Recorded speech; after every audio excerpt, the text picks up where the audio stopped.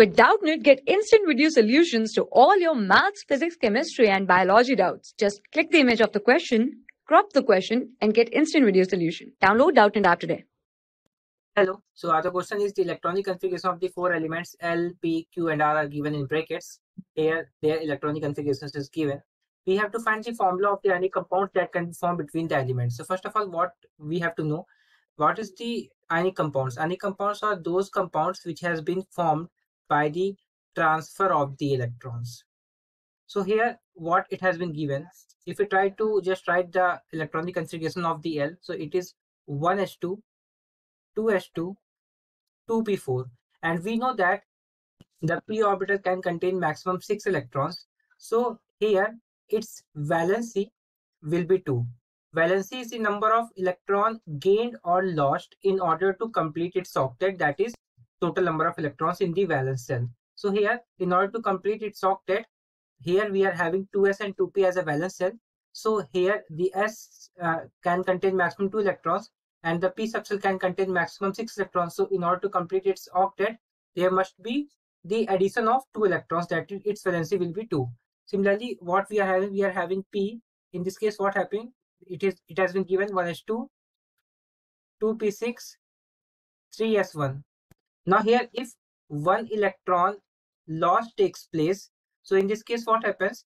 There will be the electronic configuration like this. It will have P positive and it will have 1s2, 2p6. And here we can easily say that it has complete its valence electron. So from here, what we can say that its valency will be equal to 1. Now, if you try to just know about the electronic configuration of Q, it will be 1s2, 2s2, 2p6, 3s2, 3p5. Now what happens? In order to complete its octet, there is a need of one electron. So here what we can say that its valency to be equal to 1. If we try to write the val uh, electronic configuration of R, so it will be what? It will be 1s2, 2s2, 2p6, 3s2. Now what happens if it releases two electrons? Then its electronic configuration becomes 2s2 2p6 which is complete in nature. So from here what we can say that their valency will be equal to 2 now important point to be remembered is that if we want to write the ionic formula of the uh, electrovalent compounds suppose we are having the element it is p and q for example and here we are having valency.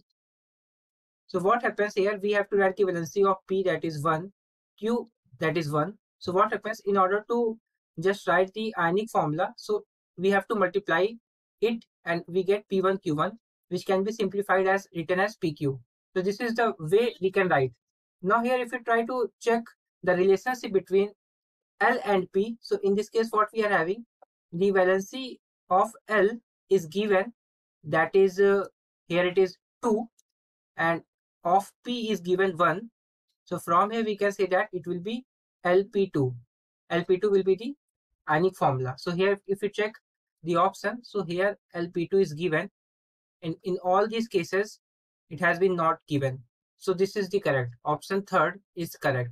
But if we check all the options, that it will be here the formula of RL will be what? So here we are having R, we are having L, and here valency of R is 2 and L of 2.